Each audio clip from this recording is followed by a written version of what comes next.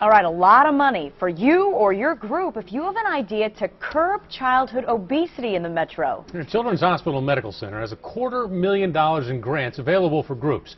In the past, the money's helped kids learn how to eat healthier, how to prepare nutritious, fresh foods, and learn how to grow foods that really help their bodies thrive. Well, dozens of community partners who are already working to shrink childhood obesity came together today to celebrate the progress they've made and to see what more can be done. Childhood obesity is a community issue, so it's going to take a community approach to make a difference. Groups can apply for one of the 10 $25,000 grants right now. You have until March 27th. We have linked to the application on KETV.com. Just click on as seen on 7. It is